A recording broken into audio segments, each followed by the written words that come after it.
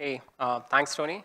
Uh, first of all, I want to congratulate the HasGeek team for organizing such a cool event. It has been very streamless, streamlined, sorry. Uh, and uh, the talks have been really, really interesting today.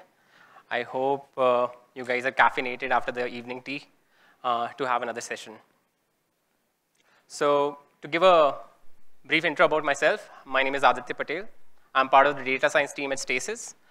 Stasis is a healthcare startup company working in continuous vitals monitoring space. And what we are here uh, is basically we're trying to develop ML systems to detect patient deterioration. Previously, uh, in my past, I've been part of research groups at Tata, and before that, I've been part of Medtronic, which is one of the biggest medical device company in the world. Today, I want to talk about time series classification.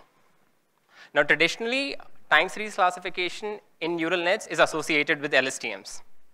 But in this talk, I want to shed some light on different architectures which can be used when you're working on this uh, time series classification uh, in real-time settings. To give a brief outline of my talk, um, I want to start out with giving the context of the problem, why we started working on this problem, uh, and what caused it, uh, and what caused us to actually start working on this. Then move on to actually explain uh, one of the most frequently used algorithm uh, its advantages and disadvantages, and then move on to talk about our methodology. And in the end, we also want to talk about some other noteworthy methodologies and takeaways. Sorry. Uh, so time series data. Time series data is ubiquitous from IoT devices to self-driving car. It affects all our lives in ways uh, we can't even imagine. And when you're working on IoT devices, as anybody who's working in IoT devices would tell you that the expectation is very different than reality. Now, at Stasis, we have five different uh, vitals which we are measuring. We have blood pressure, heart rate, blood oxygen, respiration, and temperature from four different probes. And for us as well, our expectation was very different than reality. In reality, what we got was a data which was really noisy because of the patient movements. And there was a lot of missing data as well because not all the time patients wear all the sensors. So building a predictive model on top of it was really, really challenging. So given the importance of time series classification, uh, machine, learning, uh, machine learning domain has a lot of research being done in the past few decades regarding it. We have the similarity measure approach, where you apply uh, dynamic time warping to actually align your time series, and then apply supervised classification on top of it to do time series classification. But with this technique, uh, what happens is because of the dynamic time warping, the time complexity is really high, which, causes it, uh, which actually causes it incapable to actually work in real time. There have been methods uh, to actually improve the dynamic time warping methodology, uh, but in general, it's really, really slow. From the statistical part, we have the ARIMA modeling, where you actually exploit the autoregressive nature of your time series, and based on that, you try to predict the sequence. But with this, the assumption is basically that there is linearity in your past, which causes it to actually predict the uh, future correctly. But with physiological vital signs, the data is actually really non-stationary. Thus, ARIMA modeling wasn't working well for us. And with the advent of deep learning, we have recurrent neural nets. And in the past few years, there have been an influx of papers working on time series classification using recurrent neural nets. You would see recurrent neural nets employed everywhere in time series from music generation to machine translation to, natural, uh, to speech recognition. And rightly so. Machine, uh, recurrent neural nets are sequence models where you ex actually exploit the sequential nature of time series. You have your hidden vector, which is actually propagated through time. And the intuitive appeal of a recurrent neural net is essentially uh, the hidden activation vector is actually uh, the representation of the entire time series seen so far. But when we applied it to physiological vital signs data, uh, we didn't get as good results as we expected out to be. On the left, or on your right, uh, you can see an autoencoder experiment where we actually tried classifying two different uh, classes of patient deterioration. One class was stable patient and the other class was unstable patient. And the feature representation wasn't working well for us. And when we started digging into it, what we saw was the noisy data and the missing data was actually causing the representation to not come out correctly. The other two disadvantages which we saw in this, in, this uh, in the LSTM architecture was basically because of the recurrence nature of the LSTM networks, it's really, really slow to train. It takes a lot of time to actually train your network and iterate over it. And the other thing which we saw was uh, because of the data limitation, it's not able to generalize well. So given the disadvantages, we started looking more into other methods. And one method which really spoke to us was convolutional networks. Now, convolutional net, uh, so our hypothesis was that the convolution uh, layer and the dropout layer will actually be able to mitigate the negative effects of noisy data and missing data. To give a brief intro about convolutional networks, convolutional networks come from a more neuroscientific principle where you actually apply convolution through kernels locally, and then you stack up your layers to actually get a rich feature set, which you can use to classify your, your inputs. To experiment with this architecture, we decided to take the label as patient's mortality to, as, a, as an output label. So our, our experimental setting was pretty standard. We actually had a very basic convolution architecture. We had the convolution layer. Then to introduce uh, nonlinearity, we had the ReLU. And for uh, regularization, we had the dropout. And for classifying, we had the softmax. To give a brief summary of our uh, training, uh, training data, we basically worked on a data set which is open source by MIT called MIMIC if anybody, at this point, I would say if anybody is working on healthcare data, they should definitely look into Mimic data. It's a really, really good says, uh, baseline for working on healthcare data. Moving on, so basically what we were working on was these physiological vital signs such as blood pressure, temperature, heart rate, and SpO2. And what we were trying to predict was basically can we predict the, about uh, patient mortality in the next hour? Uh, and what we saw was pretty interesting. Uh, the recurrent neural nets performed reasonably well. The AUC was 80% in this. But what was uh, really interesting for us was basically the CNN had an AUC of 87%. And it was working really, really well when we had noisy data and missing data as well. Uh, the other uh, interesting thing was basically because of the parallel processing, the training time was really less. Uh, it was actually one-fourth of the time which was taken in LSTM. Um, to give more information on this, uh, we also worked on trying to create a baseline using handheld features. So we actually did feature engineering and then applied your traditional supervised algorithms such as logistic regression, uh, densely MLPs. Uh, but uh, you can get more information on the paper. But in this, we just wanted to concentrate on the CNN and LSTM. So, so what we saw was basically the CNN was much better in performance, was much faster, and was robust against missing noise as well. Uh, also, I would say at this point, um, if somebody wants to check out some more papers on convolutional networks, they should definitely check out Google's WaveNet paper. Uh, they have been using convolutional networks to actually generate raw audio signals. And uh, last month, there was a paper by Facebook which actually did uh, natural language processing using uh, convolutional network. They're calling it convolutional sequences. Um, if, you were in, uh, if you were actually in the talk given by Anuj, he also talked about sentiment uh, sarcasm detection using convolutional networks, which was pretty interesting to me. So given the success of uh, convolutional networks, we started looking into more and different kind of generic convolutional networks. And what we wanted to test out was the representational power of these networks. And one paper which really spoke to us was this paper proposed by our group from CMU, and they named this architecture temporal convolutional networks. Now, temporal convolutional networks have three characteristics. The first characteristic is that the convolution is actually causal in nature, that there is no future leakage in the convolution process. So for example, if you have a kernel of size 3 and you are at actually co applying convolution at time t equals to 2, your convolution would be limited till w1x1 and w2x2 because you cannot actually access the future values. The second characteristic which they introduced was actually what they some, uh, called something called dilation, where you actually have a adjacent step between two filter taps. So if you have a dilation size of 1, you actually have a, your normal convolution. And as you increase your dilation size, your adjacent distance between the two uh, elements in the convolution starts uh, increasing. And what it does actually, it starts increasing the receptive field of the convolution, which actually entails the uh, increase in the uh, representation as well. And third, was basically they encompassed this entire dilated causal convolution into a residual block. And the reason behind they putting up in a, they encompassing it in a residual block was basically to actually go deeper. Since uh, if you have a residual block, it actually takes care of some of the issues when, when you're going deeper, such as vanishing and exploding gradient reduces. because you're actually solving, uh, because when you're solving for an identity matrix, uh, you, it's much easier to solve. In our case, since we're, we weren't actually going deeper, like we weren't having more than four or five layers, the residual block was actually not uh, needed for us, but to have a generic uh, analysis, we actually placed it in our, in our analysis as well. And, and one cross one convolution is usually needed when you're doing, uh, when your input size is equal to output size, but in our case, since we were doing classification, the one cross one convolution was also not needed. So in this scenario, uh, we actually moved ahead from an open source data set to, to the data set which we collected at Stasis. And we uh, went one step further in to actually go from a binary classifier to a multi-class classifier. And what we ended up doing was basically we had three classes, one class for patients who are stable, and two classes for patients with a different uh, severity of the patient's health.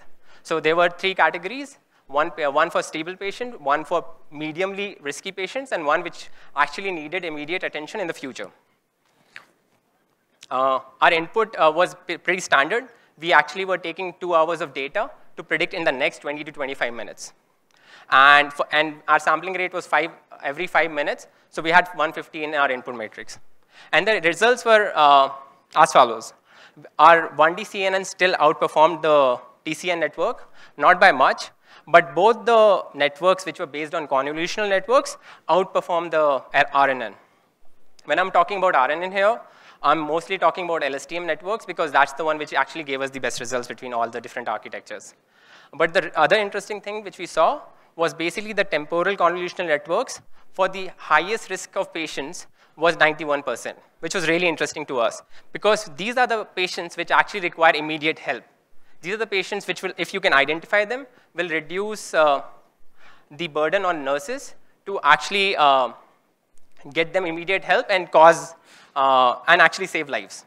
So what we ended up doing was actually combining our temporal network and 1D CNN into an ensemble model, which would, which would give us the robustness and the precision which was required in our case.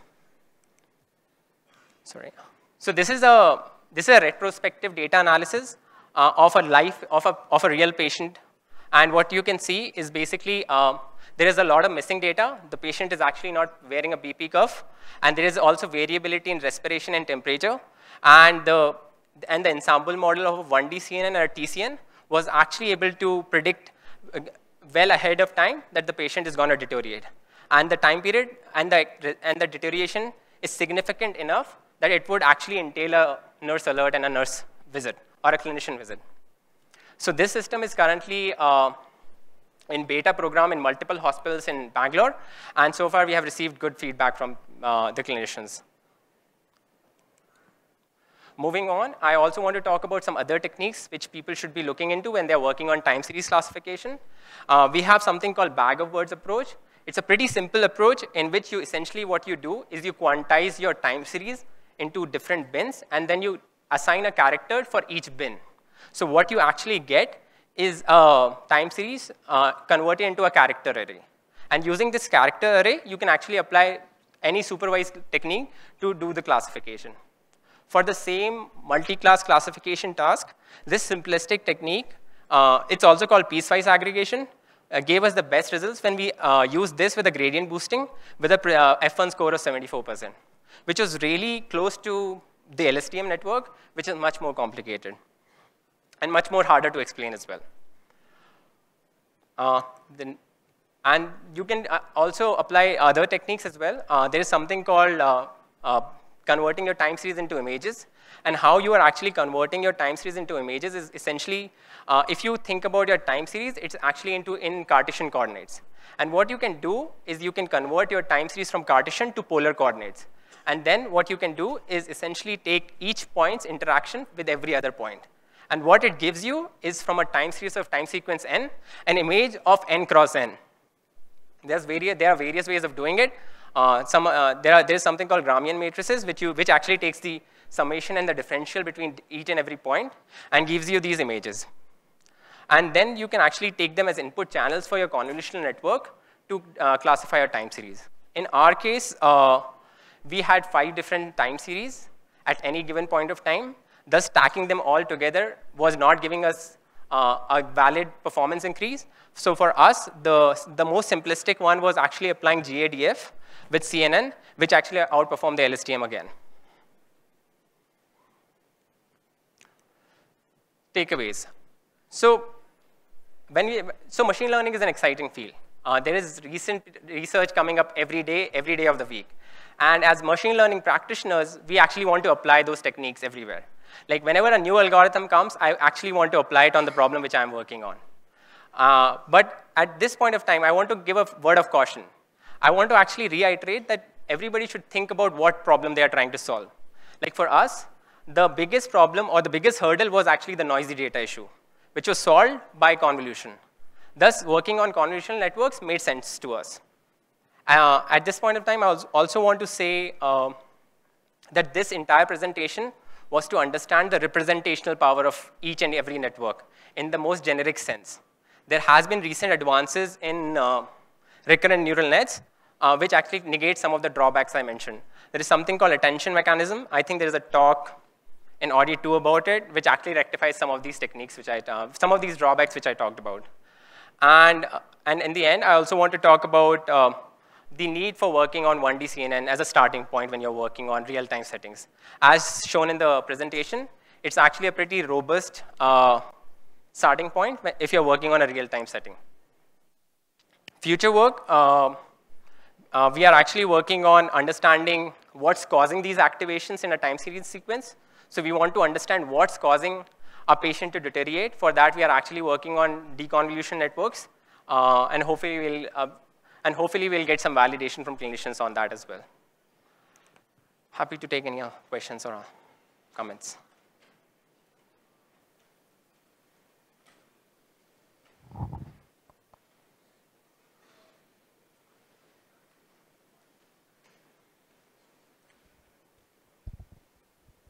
Yeah, so uh, uh, I saw that uh, you converted uh, the time series into a sequence of characters.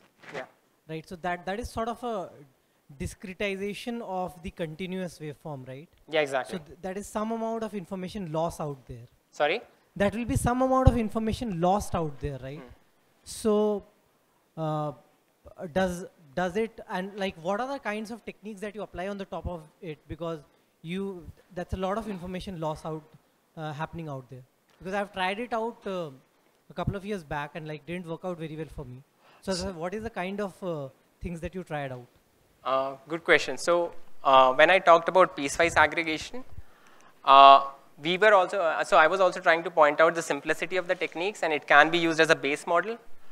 like you mentioned, it is basically you are quantizing your time series into different bins. So you're actually losing a lot of coherence between your point and that's why convolutional networks works better than this, because in this you have a linear quantization matrix.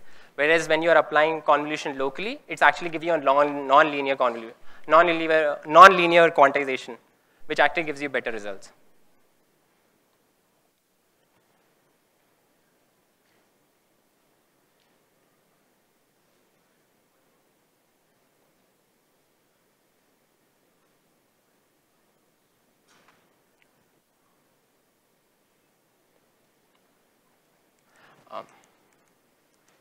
Yeah, so these are my contact details. Oh. Uh, yeah, so uh, for a patient, uh, Where? Uh, for a patient to be. Uh, I can't, I didn't, I can't yeah. place. Okay, sorry, thanks. So for a patient to be uh, diagnosed, right, correctly? Yeah. So for how long should we see his observations? Like this technique works for, let's say, half an hour of historic data set or it can be month long or it can be Okay, uh, so for in our case, uh, we are actually looking for uh, something at, on the order of half an hour to 40 minutes. Okay. Because that's the time which is required by our clinicians to actually administer a medicine right. to actually take effect. If we actually do it any sooner, the clinicians uh, would wait for some time before they administer something because they want to validate it completely. Okay. And what's your opinion about applying these techniques for a large scale? I mean, for a higher duration of time, let's say we take one year of data and try to figure out what's going wrong with the person. Is it applicable or it doesn't work well? So, uh, so there is a paper uh, on uh, palliative care by Anand Avati. Uh, he actually worked on, uh, on, he actually took 10 years of data and he was trying to see if in the next year a patient is going to pass away or not. And what he was working on was essentially the point where you should stop trying to improve the patient's care and actually get, start administrating uh, care for comfort. So his task was basically, uh, and 10 year long, he also used something very similar. Uh, I think he used a LSTM network in that case uh, to actually take a 10 years time stream. In our case, we want to be more immediate because we want to actually uh, employ it in, uh, for patients who are, who are actually in the hospital after a surgery or before a surgery is what we are trying to look for. So for us, two to four is good enough, two to four hours. Thank you. Thank you. I have two questions. One, uh, when you applied the one-dimensional CNN, uh, so did you, uh, in addition to looking at the model performance and prediction, accuracy, precision, etc., did you also look at interpretability in? Uh, yeah. So that's what it, uh, we are currently working on. Okay. So we are trying to understand how to interpret this uh, 1D CNN.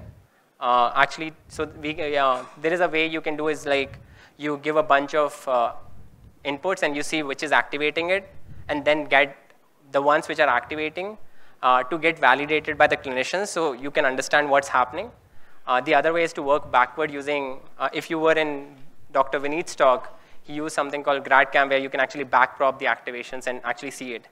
So those are some of the things even we are working on right now, or is the interpretability and the explainability because that's what's important as well. Like if something is getting activated, why it's activated and why that is related to patient deterioration. So that is also something which we are working on actively right now. Okay, and I have one more question. Uh, the one that when you mentioned about uh, converting the data into uh, binning the data, then treating each like bin as a character and then doing using a few NLP techniques. Um, have you come across using uh, LDA or anything like that with this data?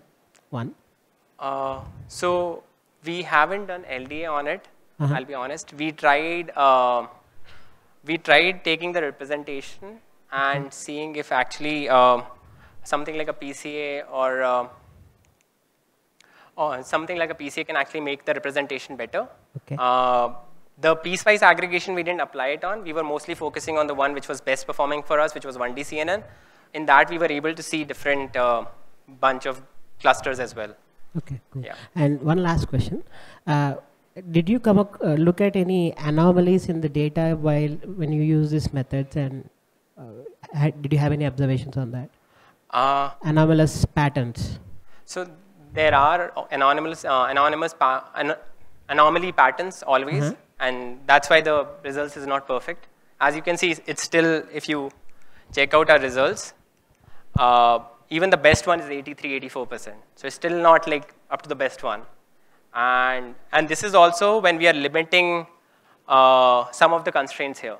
Uh, for example, like you need to have an X percentage of data available for us to make a prediction. Um, I think if we can uh, improve our signal quality, uh, remove some of the, uh, sorry,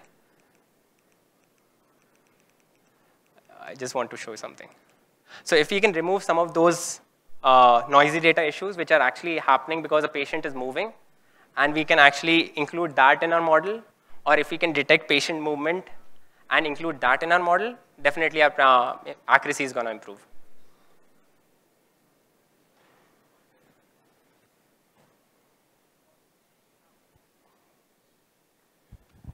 Hello.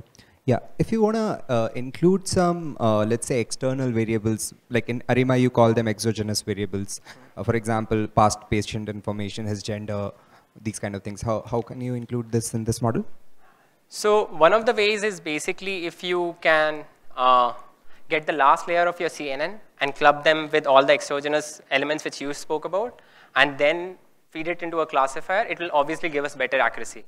Uh, in this, we even shied away from using the demographic information such as age, sex, uh, and uh, other patient information like patient notes because what we are trying to build right now is we want to make it as real time as possible. And when you're working on an IoT device, because that kind of information is actually going to come from another server, it's very hard. So we are trying to shy away from that and trying to understand how much we can leverage what we have right now to make it as real time as possible. Got it. So within a short span of time, it adapts to the whatever is the context. the Exactly. series. Yeah. Okay. Yeah. Um, yeah. Feel free to reach me at uh, aditya at stasislabs.com. Uh, would love to chat if, if anybody has any questions offline. Thank you.